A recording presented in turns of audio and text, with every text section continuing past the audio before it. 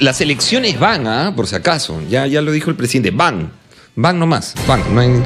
El presidente de la República, Martín Vizcarra, negó que las elecciones presidenciales y congresales del 2021, o sea, el próximo año, sean postergadas debido a la pandemia. No, si la pandemia, el virus son los políticos. Eso, eso, eso, esos son el verdadero virus, compadre. Esos son la pandemia que azota al país hace años. Y lo peor es que nosotros los elegimos. Pero bueno. Eh, entonces, ¿qué dijo el presidente? Que las elecciones presidenciales y congresales del 2021 serán postergadas debido a la pandemia del coronavirus en el Perú y la afectación de los cronogramas electorales. El próximo año elegiremos al nuevo presidente, vicepresidente y a los nuevos congresistas. Ahí tenemos que ser claros que la democracia se tiene que fortalecer. Eh, eso es lo que ha dicho el presidente.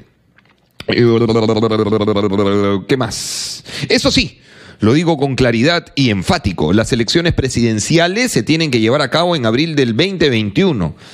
Porque ahí lo que debería haber es un encierro para los políticos. Hagamos, invirtamos los papeles, encerrémoslos a ellos. Tanto, tanto despreciable que hay. Bueno, ¿cómo, ¿cómo van? Bienvenidos a esta tarde aquí en.